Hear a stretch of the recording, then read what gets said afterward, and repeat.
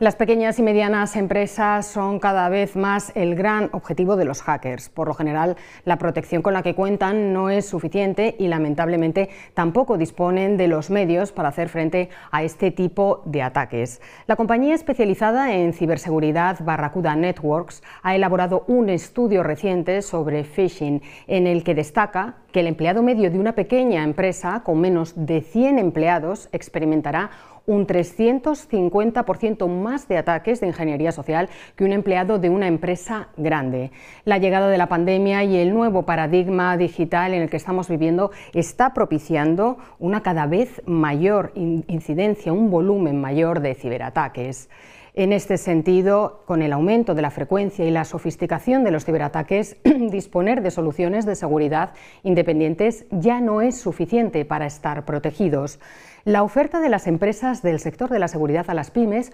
abarca la seguridad del correo electrónico, la seguridad de la nube, de las redes y de los servidores, lo que permite crear servicios de seguridad que se adaptan a los entornos empresariales actuales y también les permite ofrecer una ciberseguridad integral como servicio a sus clientes.